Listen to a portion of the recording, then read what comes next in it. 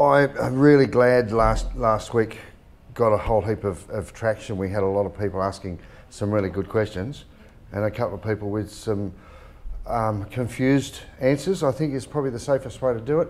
Um, I start the videos with a big scrolling disclaimer at the front saying this is entertainment. It's entertainment with intent. Um, We we certainly we're we're certainly trying to share with with our audience some of the information because look, this is potentially a minefield. Every single guy in every pub in Bali has got a, a different reason or a different way of doing what you guys do full time. So the information shared here is relevant as of today, um, and and anything that you might have done five years ago, ten years ago, is is no longer the same system as what we're working under now. So please take this as, as an informal, informative, but not legally directed at you because everyone's circumstances are different. That's the one thing about about any legal or any any sort of uh, that, that's why you get a consultant because you guys know the ins and outs. A simple Um, email to us or a simple phone call. Yep. We marry We up. start the process. We know exactly, and that, that differs from Betty to Bob to Harry. Yep. And we can go ahead with And it. so many people are, are, are- ask questions that are relevant to what we've been talking about, and that's great. The best thing I can do is I'm going to put their, their email address up here, and Frank and Monika um, have made a career or made made a, a, a long-term business out of helping people to come over here and safely conduct business or safely move here, stay here, help them out with various various things that you need, especially from Australia. But but a lot. Uh, one person asked, do, "Do you handle people from Europe?" Another, of course, um, they handle anyone that wants to come, um, and it's not necessarily the cheapest way to do it, but it's but it's the safest and the most sure-footed way of making sure you don't a lose a lot of money, b get knocked back for some stupid thing that you weren't aware of that someone else that knows better could have could have sort of guided you around. Um, so again, welcome, Thank you. Thank you. um, and thanks for being a part of the show. This is been getting quite popular. So every weekend now we're starting to do a bit, get quite a bit of a bit of traction. I think. It, it was interesting feedback we got from one guy last week, and he had realised, in comparing back to Australia, Yep. and you know, and the due, due diligence that we maintain and we do all the time. And you know, he said to me, "Geez," he said, "you know, I would have already done that, and I want to do it." And I thought, no, I don't need it here. But after we discussed it, he was very much said, "You do it. Make sure it's right before we go forward." Yeah. And uh, and the cost that we compared with, he got a comparison. It was like two and a half, three thousand for a lawyer in Australia. So you know, it is. It's not cheapest, but that's the first step of anything. Look, I, I came in here. Um, this is my own story. I didn't know uh, Frank and Monika when I first got here, um, and I had a I had a visa agency, um, and and the first six to twelve months they were great. Every couple of months I had to go and reapply for my visa and send the passport off, and it was a bit of a pain, but they made it nice and easy. Now they weren't cheap either.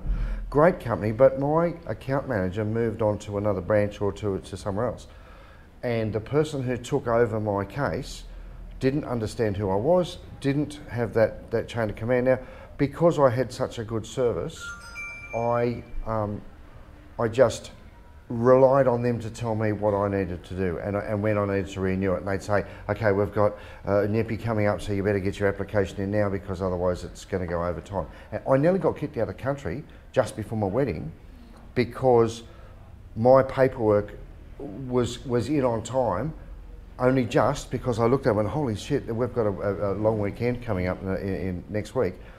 Is that going to be time for me to get that in, get and, and get all? So it nearly screwed my whole wedding up. So. Um, w- the one thing I'll say about having a, a, a, a let's shall we say a boutique firm looking after it is is you guys personally handle every single client Yeah. and, and there's that chain of command and, and the peace of mind is absolutely worth the, the few dollars that it costs to make sure it There's happens two properly. things that we find that we, we, we must do. One is we become, we've got to become, like you said, your diary. We got to ring you in 10 months' time and say, Muzza, we're ready to go. Oh, shit, is it that time? Yes, we're ready to go. So it's up to us to remind because we're all bad in time. okay? We all are. And especially yeah, when, when you're retired and That's it. yeah, I'm off fishing on the boat. do I have to do it now? Yes, and you do. And the other thing that Monika and I have decided in our business that we don't use Gojeks to initiate or pick up passports. We want to meet the person. We want them to say, "There's Frank, there's there's Monika," and they'll we'll either go to them or they come to us. And we actually had a guy during the week. You'd laugh at this because I'd spoken to him through a, a, a, um, a restaurant, and when Monika actually went down, he said, "Tell me, is there truly a Frank, or is he just a fabric?" Because he says, I, I never I never seen him. So I thought, well, that's feeding him, you know. So we we want to meet people, and we're finding that we get a lot better result. The person walks in the door, okay, you are your skin, you got to You build a rapport. Yeah, mortar, mortar, and that. And, and look, let's be honest, there are so many dodgy sites on Facebook or, or, or on YouTube or uh, um, just uh, Everywhere. advertising Yeah. place uh, uh, firms that will help you do this. So knowing that you've got a firm of repute, knowing you've got, to be honest, an Aussie just to talk to in my language, because I found a, a communication a little bit more disjointed with the other firm, and I'm obviously not with them now because I've got something better. But um, Who are you with now? you better Oh, remind. we've caught him out. We've caught him out. So, um, yeah, th- and you're right here in the middle of Legian. Yes. Um, as I said, on the waterfront, there's a beautiful, there's a creek river just at the side. For those from Melbourne, it's the Yarra. so we know which way it's around. There's an awesome coffee shop next door who supplies me with the best coffee. It's not as good as the Budiata brothers. We we um, set up the the guys in the wheelchairs Oh, you? Yes. with uh, with a coffee maker the other day. So Lovely. their official open was yesterday, and now the best coffee in Bali is up there, but the second best is here. but um, look, so uh, we've got a whole heap of ongoing immigration things, and one thing I will say is a lot of people are saying, "What about the pension? Can you get the pension? This and this." We're, we're not based over there, and I don't know the idiosyncrasies of the Australian system or your particular type of pension, whether it's a widow's pension, whether it's a veterans affairs. I, I did realise that the, the majority, I think, of the expats that live here, from in my opinion, uh, or from my uh, recollection, seem to be ex, uh, uh, ex Vietnam vets or ex um, Oh, uh, Oh, return services. Because if they've, like my mate Al, if the, if they're on the Veterans Affairs pension, that that is anywhere around the country or anywhere around the world. As, as I know it, most um, pensions can be paid in to either an Australian bank account and people can draw out of it and bring it up here, Yeah. or some cases, uh, like the government ones, they can actually get it sent to a bank account here in Indonesia. But do they have to spend six months of the year in back in Australia, or is there any? Check check with your authorities, Absolutely. honestly, Yes. because Yes. that that's going to change, and I'm not over They there listening. the Yeah. time, yeah. So that's the best advice I give you. If you're not sure, check with your own social security or the, your own social network over there, and find out what what you need, what requirements to withdraw your super or to to live off that. Most retirees, I think, would be semi self-funded. Um, Not sure. but it's not. It's not that expensive to live here compared to. But there's some there's some big holes. There's some big warnings that we want to make sure that you guys don't fall And into. that- that's one of the ones that we want to probably digress and have today because Yeah. what we found out last week and the week before that not only is that uh, situation with visas and so forth, but part of our role here in the consultancy is also to help people uh, bring lease agreements. Uh, check them out, due diligence. You know, my favourite word. Uh, you know, to check it out and make sure it's right. So Monika's going to have a bit of a talk with, uh, about what we can do to help and some of the steps people should do in regarding when they're out there looking at a villa and the heart wants it, but they got to, the brain has to take over and make that decision and slow it down and look at it comfortably. I've heard more horror stories about that than any other part of people moving to Bali. The, the visas can be dealt with in, in different ways.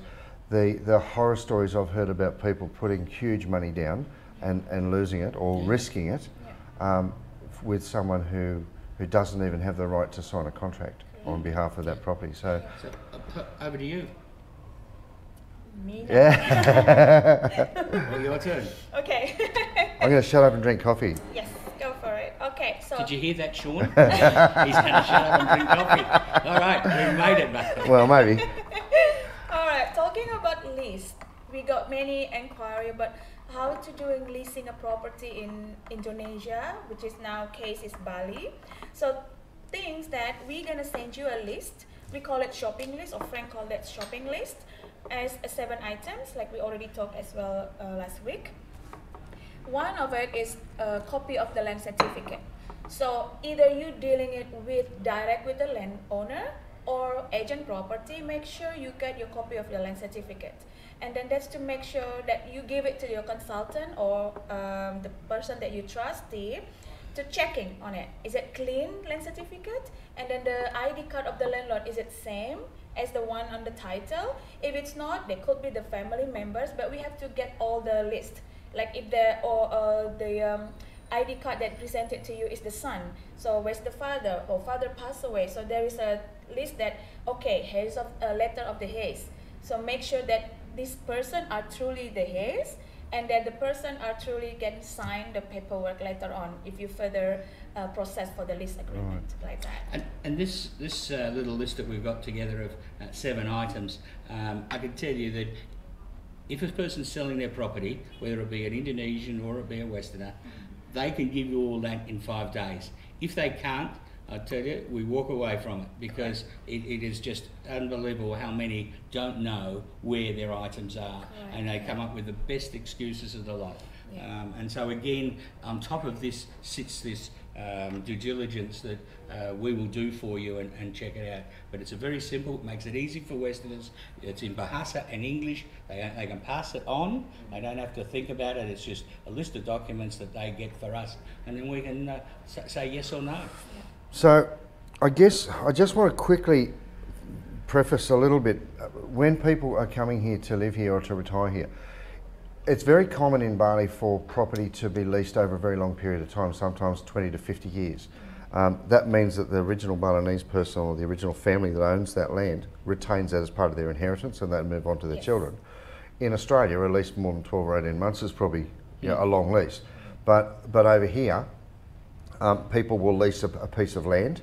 Someone else might buy or rent that land for 50 years, Yes. build a, a hotel, build a villa, build whatever, and then they might rent it out to you for five years, 10 years, or, or three months at a time. So, so this, the, uh, the way they do the land and the, and the, and the leases over here leads to a, a potential situation where I might have a piece of land, I, I lease it to you for the next 50 years, you build a property on it, uh, a house or uh, six villas or something, and then you sublease those villas to her.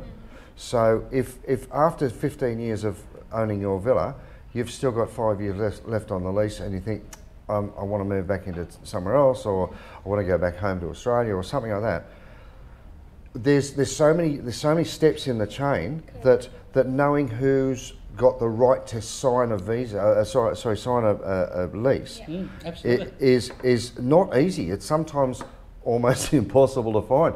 If someone's got a lien on the property and they haven't paid their bills, and there's so many things Yes. where where it could get much more complicated, and and the lodging of titles and deeds in this country is different to what we have in Yeah, Australia. no, well. So I found out through just my wife and, and her family that you would have to go back to her village to find out who's keeping the Would have to, records yeah. in in Sumatra or in Yeah. uh, some, some We- remote area. We call it the chain, the link of ownership of the chain. Yep. And you go back to where you can say there is a clean title, Yeah. and then you make sure that um, the people who have signed it uh, are the true owners. Yeah. And look, uh, there'll be some that we've had to give bad news to that the actual title that they've got. They haven't got the right to pass That's the land on. yeah. And we say we're not interested. I'm telling the client, we're not touching this Yeah. because this person had no right to sign it. And we mentioned, I think a couple of weeks ago, but my mate Daz was about to put $200,000 into a bank account because he was here for 10 years. He wanted a long term Mm, lease yeah. and it was 20 grand a year. And uh, at the, at the time, he was paying more than double that for the house he was in. And he found a great place. It was a beautiful uh, opportunity. So he jumped in there. At the last minute, he called hold of you and said, Am I good to go? And at the very, very last minute, found out that the guy who was signing the lease didn't actually uh, uphold his contract to the previous guy, and Dazza was about to put two thousand dollars, uh, two hundred thousand Australian dollars, into a bank account of someone who could have just said bye bye and, and never got it And it was overseas too. Yeah, Yeah. so. So, So it's critical because of this complicated back structure. Mm. It's critical, especially for people who are retiring. Most you're not going to get a, a, long-term lease that's cheap unless you pay up front, or unless you pay a considerable amount of money up front. yeah, you can you can you can break. You can do ter- term, term, term payments, payments. over- but again, generally you're still paying mm. 20, 40, 50,000 or something. And see, that's another thing that people don't understand. They show us a contract, and the guy says, "Yes, I've got ownership of that," but he's only paid five he, years. he hasn't Yeah. paid his and he's got to. Exactly. Yes, He's trying to get the yeah. money Yeah. from our client to pay for the rest. Yeah. And we're going, no, you've only got five years. You haven't got Yeah. 25. And- And, so and- therefore, again, we've got to protect our client and say, well, you may take it for five, but you're not taking it for 20. So, okay, just a, a question about it. If during the terms of the contract one of the parties dies over the next 20 years, it's a pretty good likelihood. Um, one of the parties, wha- anyone in that Yeah, chain, yeah. does the contracts protect you Yes. within Yes. that chain? That's why it's gonna uh, written in a lease agreement as Right. well. So that's already stated in the article of the notary. That's why we need you to have the notarized legal paperwork for your lease agreement because in the article will state that either one of the party uh, pass away, it goes to the his. Right. So, So- it's continuation. That's right, it never does. Can can they sell that f- from under you and, No. and then kick No. you out? No, they can't. No. Tenant in sitting, you call, they call it tenant in sitting, and they're the strongest pointer to, of it. And so therefore, there is no way in which um, dad dies, the uh, heirs come in, they cannot sell that whatsoever. Uh, it goes right through to its nth degree. Right. So uh, people are protected, and that's one of the reasons we hear a lot here in Bali that, oh, look, it's okay, I'll do an underhand agreement. Now, underhand here is, I'm going to give Muzza a bit of paper, I cross a stamp, and we will walk away. Look, you might as well throw it out in the street. That's why, you know, we maintain that we would like our clients to go notarised because then it's registered, Yeah. it's covered for all point, points of any challenge later on. Mm-hmm. Yes, it's going to cost a little bit more, but it, it's a valuable asset. Oh, but you but you you're putting your money up front. Of course. So and, and you're and you're sinking your time. So within these leases, there's it'll spell out who's responsible for maintenance and who's responsible Yes, for yes. uh, council taxes or fees Yeah, or any pumps, other charges. absolutely. Hill pumps, Yeah, you know, yeah. simple little things, Yeah. you know. And the thing that you have to understand, of course, which you do now as well, is that once you take a place here, you're responsible for the whole lot. Roof leaks tomorrow, that's your problem, okay? So again, our role is to say, well, okay, do we get the roof checked? Do we get something else checked before we go in? Because once you're in there, unless it's within the lease agreement that there's a pool pump or something else, specially to going back to the landlord or going back to the tenant, you're you are 100% accountable for it. And the other thing which we've found just recently is inventory. You know, Yeah, yeah. people take on a furnished place. We had a, a case of one of your clients. You know, they leased the place, and they all of a sudden the tenant of two went two ago comes in and says, "Well, I have my furniture." And I went, "Well, why? It's mine." And no, no, no. Have a look on the lease. There it was. He owned the furniture, so it was actually the guy Wow. selling an unfurnished property. so, yeah, yeah, these are the little. And, traps and so general upkeep. If uh, if I've got a ten year lease or something, and the fridge dies, and the fridge was in inventory, is it that is it the owner's responsibility to replace it? no, it's yours. So it's more again. yours, but yeah. then I've got to leave a new fridge for him. Yes, but unless we put it in there in the inventory, and you've hit a very good point. In the inventory, we list down all the items, and then we say who's accountable for it. Correct. Right. Okay, so anything with a motor, we push back to the landlord Right. all the time. And sometimes we're not successful. They say no, you're not going to do everything, but we'll go. 50, But that's where the 50. negotiation goes and Exactly. stuff. Yes. But anything with a motor, push back to the landlord because they've had it. You don't know the age, how old it may be. I know in Daz's case, there was a few items in the house that he didn't want. Yes. So the first thing he said to the owner is, "Do you want this, Yeah. or do you want me to get rid of it?" Correct, and it- yes. yeah. And, and so that way he was able to, even though it was it was all written down. it's clear of Yeah, the yeah, yeah. inventory of, of what was there. And that, that's why that you know we, we've gone this simple way that we, we showed people before where we had the shopping list. With that with the shopping list, it just makes it easy. We can get it to you by email. You've got it. You give it to uh, whoever you're buying it from, Yeah. and you you can just be very pedantic and say there's seven items there. I want seven back. I don't want five. I Yeah. Don't want two. I want Yeah. seven. If you can't give me seven, I'll finish. I'll walk Yeah. away. Yeah. Yeah.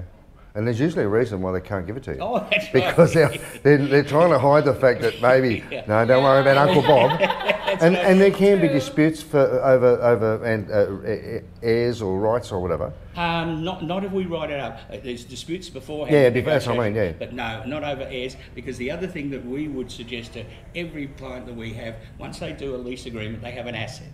Okay, it costs three hundred dollars here. You get a will, and you override the will to anything else that you have in house. So you've got the heirs sitting underneath taking over in regarding the lease agreement. Right. Then underneath that you say, well, okay, my kids and my heirs, this is the way I want it broken up, or do I want it sold? So that links it all together. So oh, when you're up in heaven, Yeah. they're all doing the right thing and not arguing. I'm not going to be up there. I think- yeah, yeah. I'll be out fishing. I'm taking my phone to ring up just to check. So well, so that's a good. That's a, I've never even thought about that. But if I've rented something for the next thirty years and I'm not here in twenty five, um, there is actually still a, a value A value, to the word property is, yeah. that we can either sell off or dispose of or return Yeah. back to the owner. which we call Yes. here over contracting. Yeah. Yeah, right. And so you die, and all of a sudden V doesn't want to continue, then she takes it, and she's got the right to over contract and, and use it accordingly. Yeah. do uh, do we have the time today to to touch on owning property in Bali?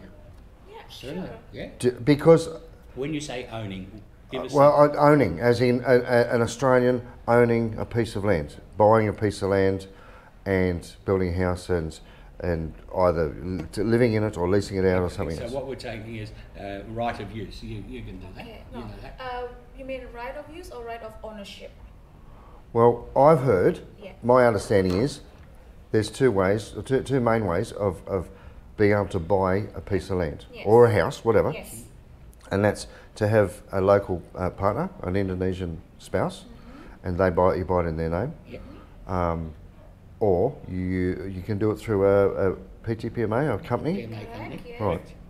which is like a proprietary limited, I guess, in, Yes. in Australia. The So, so the, uh, you establish a company here in, in Indonesia. Mm-hmm. The company buys the land.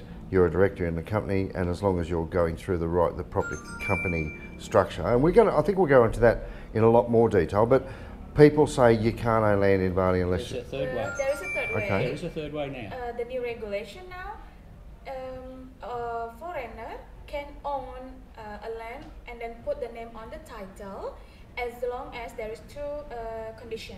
If it's apartment, uh, the minimum purchase is two po- two billion. Two hundred Two thousand. hundred thousand. That's 200,000, not. Yes, and then the, your name can be at the title. Right, But the other thing is you have to have a kitas, not Right. only passport. right. Right? And then secondly, if you want a land or villa on it, the minimum purchase is 5 billion, which is 500,000 AUD. Okay. Yes, then your name on the title. Wow. Yes. So, and uh, for those who want to come over and invest, what, what if you don't want to live here? You just want to invest here, and is that different?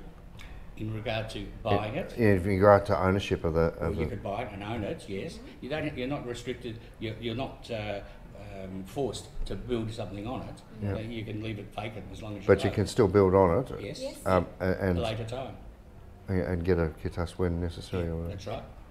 Again, ask your questions, send them an email.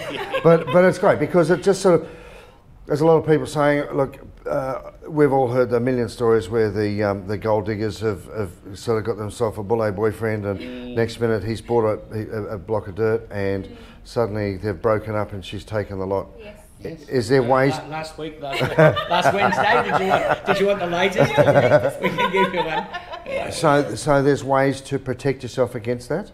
Uh, yes, there is. Yep, Yep. my word. Yeah, Right. yep. So it's not just a cut and dry. No, No, shit, it's got to be in Very their name. much Yeah. No, all, all can be uh, done. Most of the people are taking PMAs and letting the PMA take what they call right of use and then, then taking it that way. Right. Because you're not getting hit with so much tax. Yeah. Uh, there's a very heavy tax on the two billion and the and the five billion. Okay. All right.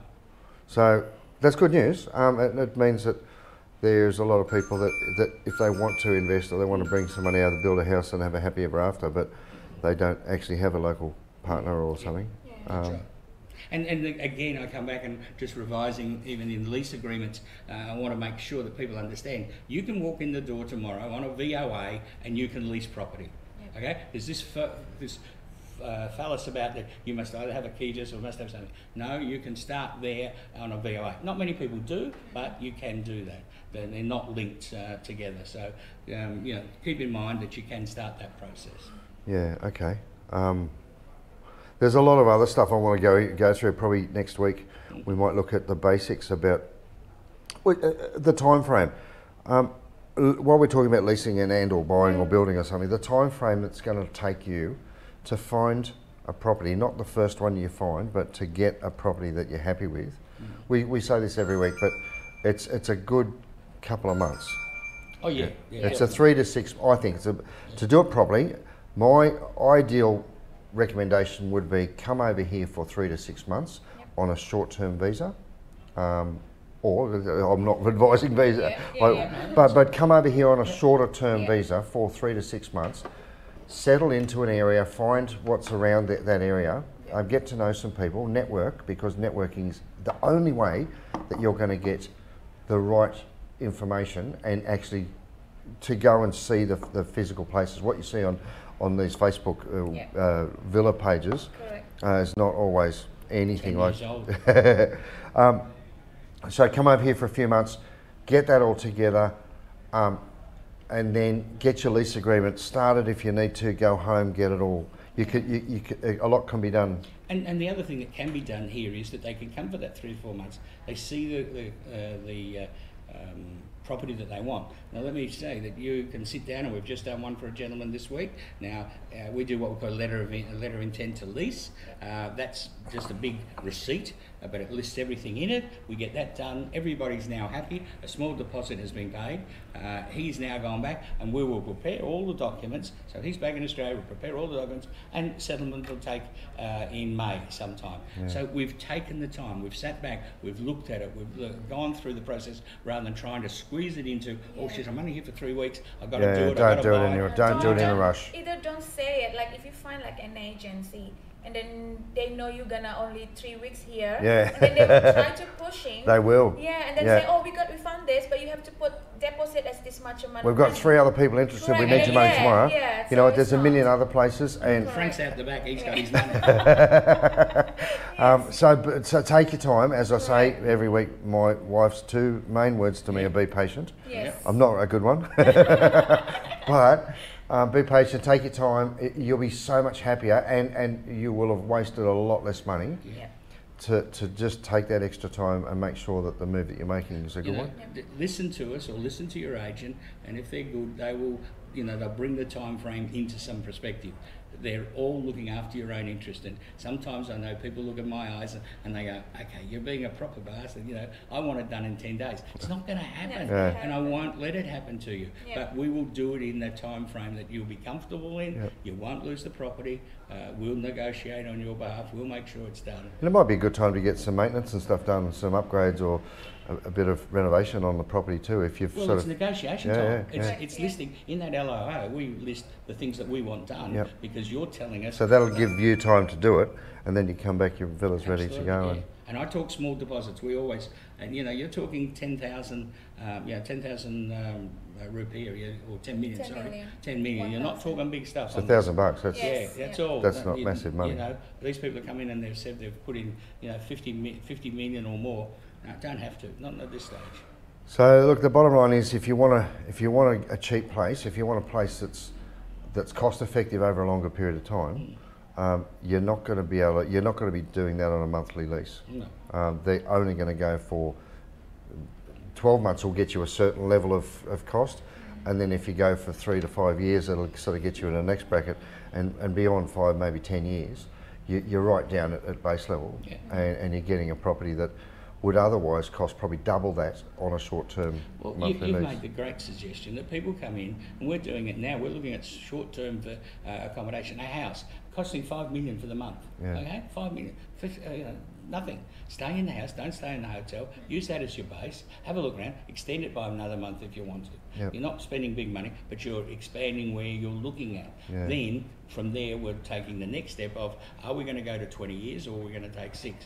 But we're, we're using the small short-term rental, or a hostel, or a you know, apartments I saw last week. You know, uh, kitchen, everything included, um, $850 for the month. Yeah. So it, it, you're not spending. There, look, there money. are some places uh, in um, in Sanur where my mate Al lives. He's only spending less than thousand dollars a month, mm-hmm. and there's there's quite a few spare units from time to time because the downstairs ones are taken up by retirees, and the upstairs ones tend to be a little bit more mm-hmm. itinerant. So so there are places it's got a beautiful swimming pool. It's a lovely spot, and it's under a thousand bucks. And that's only on a monthly month by month lease. So you don't have to lock yourself in. And there are some places. I am not a real estate agent. I do not own property in Bali. I'm hoping to one day, but at this point in time, I'm doing this whole series to give you guys some answers to the questions that we're giving, um, and thank you guys both for, for helping us out today. That's a pleasure. I think it's been uh, it's been very informative. Yeah. We're looking at a whole heap of things. Uh, Uh, in the future, I want to do how to work in Bali, what the, the process of getting over here, getting a working visa, and and the sponsorships and all that sort of stuff that are required to make that, that happen. Um, there's so many different types of visas that we, we might briefly touch on some of the specialist ones as well. Yeah. Maybe we'll start next week with just the basics, the the short term, short to medium term ones, and what's required for them, and and and how do you get this whole process started? Because I think that's the gateway. Now we've sort of talked about the backside and said, okay, to retire here or just to, to, to get a property here, but to physically have the time and the, and the opportunity to go through that process, you need to, to know how to get here. What's the basic visa, the simplest way? On a visa on arrival, you only got 30 days, and it means everything's going to be rushed. So you can extend that, obviously. Um, the next step is to go through your D, D1 or the Yeah, well, the, the main the main thing is you sit down and you have a look at where you want to be. Yeah. If I may use an example, FIFO A guy was going to it's four four years out, he was going to uh, retire. When he left and walked away from here, he started next week because what he was going to do, fly into Perth. We've got him a hostel here. Yeah. He's coming into the hostel. He's going to use the hostel for three months to look around and get a small home. Yeah. Because he says then he can fly from Perth to here, save himself three grand every time he's he's out of the uh, out of the mines. Yeah. So he's looked at it as his future, but taken it nice and nice and steadily. And some of the visas r- you're required to have a property, a, a, a lease. At least agreement. So, Yes, so, retirement. so that's why having this this early. And I think the best thing I did was come over here for for six months or so. I think it was a bit over that, but and then went back and sorted my affairs. I put everything in a shipping container and said I'll come back and and and put your stuff in storage or, or leave a relative staying in your house at home because the last thing you want to do is to sign off on everything That's Oh. Just lose that one. the last thing you want to do is sign off on on your house and, and close your life behind, get over here and find it's just not what you thought it mm-hmm. was. So hey, listen, guys, thank you very much. Take care. I'll bring I'll bring you around in the camera. Uh, he's cut us off. man. That's it. Well done. All right. Take care, all. yeah, thanks. Hey, listen, we're going to do this again next week. Um, and happy Easter, guys, by the way. Happy Easter, Yeah, happy Easter. yes. So we'll uh, we'll have another talk to them, and thanks for coming along. Cheers. All right. Cheers. Bye bye.